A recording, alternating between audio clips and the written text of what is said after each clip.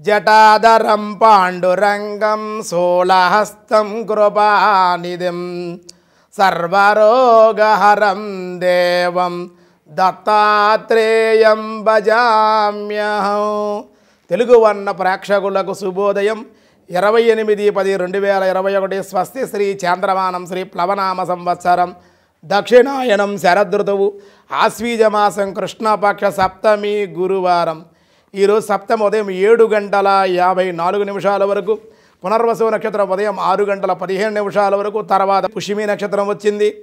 వర్జం మధ్యాహ్నం రెండు గంటల నలభై ఎనిమిది నిమిషాల నుండి నాలుగు గంటల ముప్పై ఒక్క నిమిషం వరకు దుర్ముహూర్తం ఉదయం తొమ్మిది గంటల నలభై తొమ్మిది నిమిషాల నుండి పది గంటల ముప్పై ఐదు నిమిషాల వరకు మధ్యాహ్నం రెండు గంటల ఇరవై నాలుగు నిమిషాల నుండి మూడు గంటల పది నిమిషాల వరకు మధ్యాహ్నం దుర్ముహూర్తం సూర్యోదయం ఆరు సూర్యాస్తమయం ఐదు ముప్పై.